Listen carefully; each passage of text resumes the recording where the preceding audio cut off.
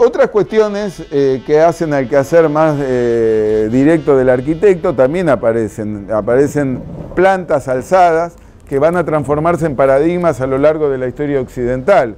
Cuando se compara un templo griego con un romano, acá estamos la descripción de un templo romano, por supuesto, cuando se describen distintos tipos de templos este, que se van a transformar en modelos en la antigüedad y también en el Renacimiento, como ahora les voy a mostrar.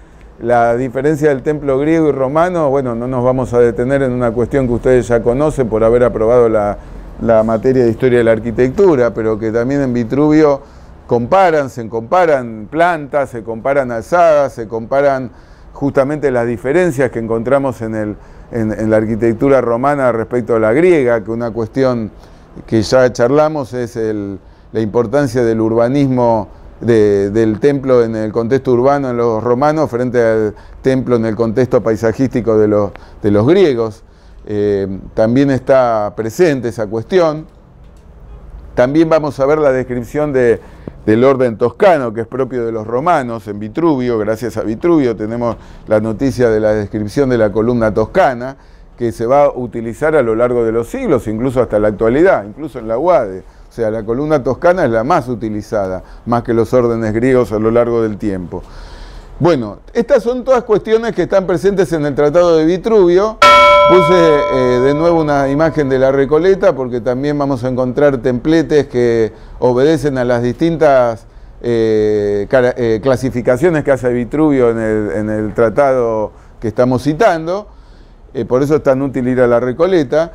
Y luego vamos a encontrar la descripción de templos griegos en relación a los romanos cuando se describen y se contrastan los falsos templos perípteros con respecto a los verdaderos templos perípteros.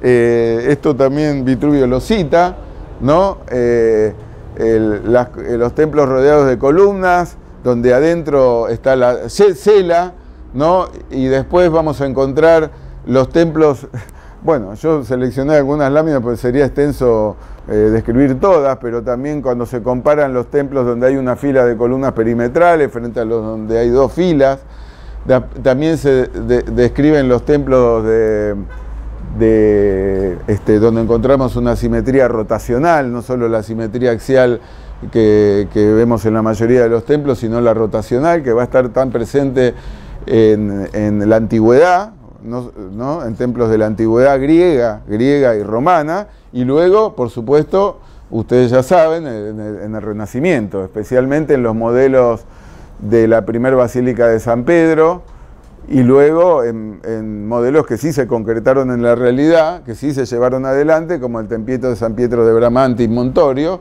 donde eh, si comparamos con las descripciones de Vitruvio, prácticamente vemos como que fuera un ejercicio de un estudiante de arquitectura que quiere llevar adelante lo que está leyendo en un libro teórico, ¿no es cierto?, en cuanto al tempieto de San Pietro y Montorio.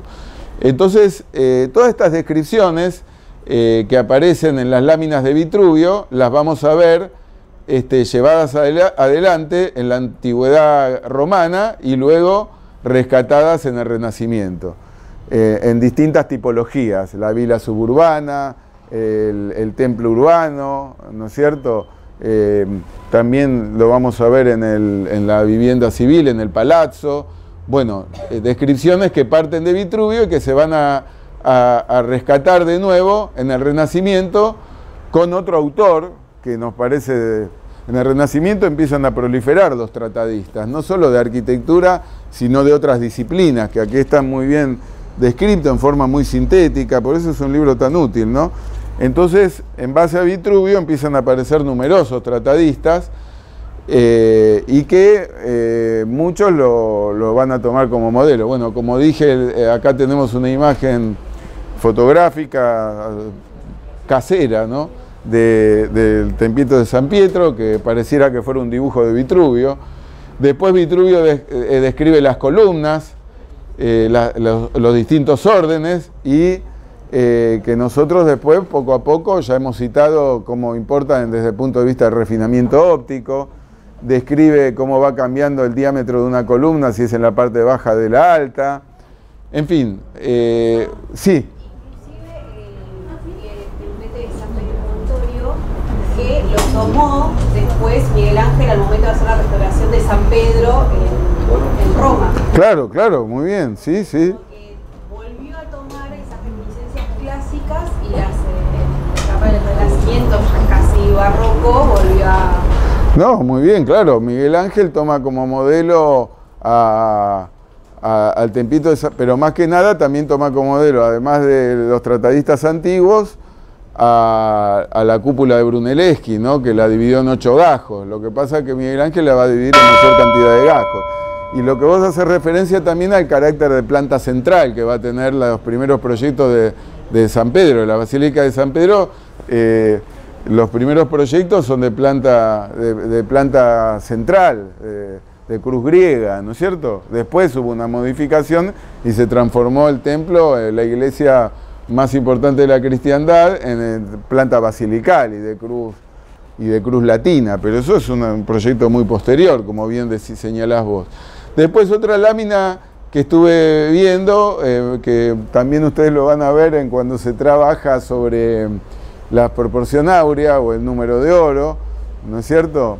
Eh, el diseño de, una, de, la voluta del jónico, ¿no es cierto? Eh, que también está perfectamente medida y determinada, que pareciera que fuera un libro de instrucción práctico para cómo hacer una voluta jónica, ¿no? que en Vitruvio está bien, bien aclarado, y en las distintas láminas ilustradas que van a venir después con la llegada de la imprenta, hay que decir también que, Vitruvio tuvo una gran difusión, porque es a partir del Renacimiento que se imprimen los libros y se multiplican, entonces se van a transformar en, referentes.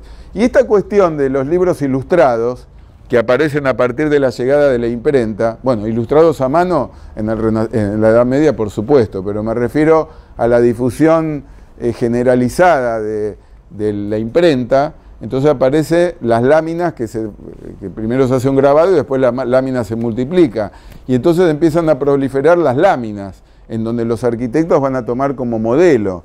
Y esto hasta entrado el siglo XX, ¿eh? que este, yo me acuerdo cuando se desguazó la biblioteca de un arquitecto célebre, que yo tuve la suerte de poder comprarla, un arquitecto célebre de la primera mitad del siglo XX, lo que más tenía en su biblioteca eran las láminas de, vieron, de editorial crudo de Torino, de Turín, que se editaban muchas eh, eh, carpetas, carpetas con láminas, láminas no solo de Vitruvio, sino de otros tratadistas, donde los arquitectos nuestros tomaban como modelo casi textual para poder hacer una ornamentación, ¿no es cierto? Estaban numeradas, clasificadas.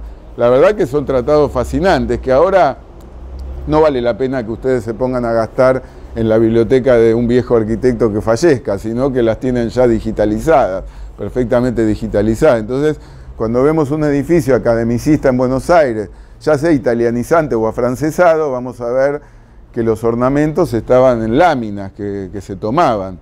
Los principales casas editores, la, editrice, la casa editrice, la de Crudo en, Turín y en Milán, venían de Turín y Milán fundamentalmente las carpetas con láminas.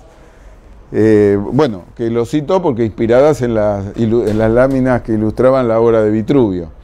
Bueno, ¿qué más encontramos? Bueno, yo les pongo como ejemplo alguna foto que tomé en alguna circunstancia profana, digamos, yendo a la prepaga y demás, donde vamos a ver incluso algunas capiteles de edificios de principios del siglo XX, en donde pareciera que estuviéramos viendo Vitruvio. Eh, bueno, la descripción de las columnas griegas y que le agrega también el orden toscano, que como dijimos es el más popular. También...